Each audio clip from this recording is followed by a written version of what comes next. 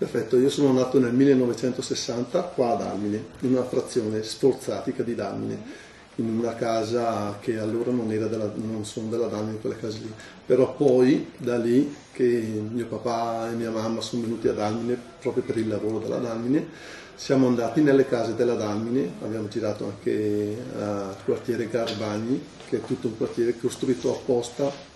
per i dipendenti de, della Dalmine, c'erano dentro gli impiegati, gli operai e tutto,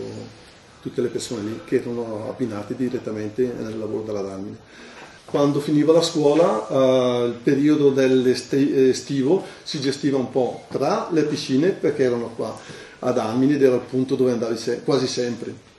e eh, le colonie, quando partivamo dai, dalle pensiline qua di Dalmini c'erano i pullman diretti della Dalmini che prendevano dei pullman a noleggio, caricavano su solo, solo bambini con due o tre eh, insegnanti o meno e si portavano alle colonie. Quando sono entrato nell'80 sono entrato subito alla ceria della Damini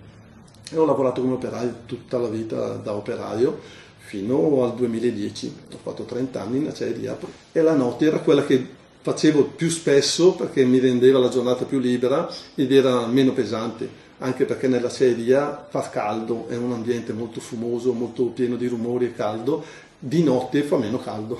Essendo così tanta gente, ed erano le portinerie grandi, eccetera, quando si entrava e si usciva proprio si vedevano eh, le, la, le, strade della città ingombrate da biciclette, eh, chi aveva la macchina, chi il motorino e così via, eh, che flussi di persone proprio che non, non, andare via adesso perché il provinciale è occupato degli operai della Damine. Fuori dalla Damine ci si poteva ritrovare all'antenna c'era il Kral, c'era l'Acli, c'erano posti dove tanta gente andava lì per bere o per giocare a carte o, o fare cose che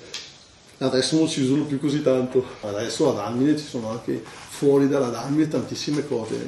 ci sono tanti, la biblioteca è enorme, è grandissima, c'è le piscine sono diventate coperte, scoperte, c'è tante tante cose.